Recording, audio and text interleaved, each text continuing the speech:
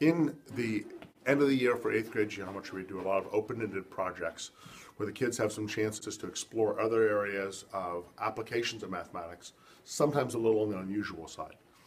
For example, for example, I have a group of boys that are working on using, they've worked, they've already built an air cannon and looked at how a, how a compressed air cannon works. Now what they want to do is they want to study how does the nose cone or the design of the nose cone affect flight, both flight time, flight accuracy, and and as, as well as efficiency. Like for instance, can they get more efficient spins with different types of nose cones? Can they get nose cones that are more effective for doing one thing versus another thing? So they're in the process of building and designing several different kinds of nose cones to put on the end of a quote unquote body, which would, can, can then be aimed at particular targets or a particular range.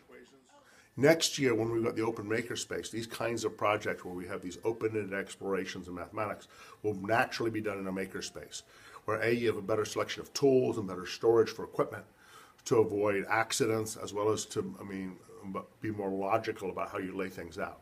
With the addition of power tools and that sort of thing, we can get much more, much, much more precision and much more consistency of construction.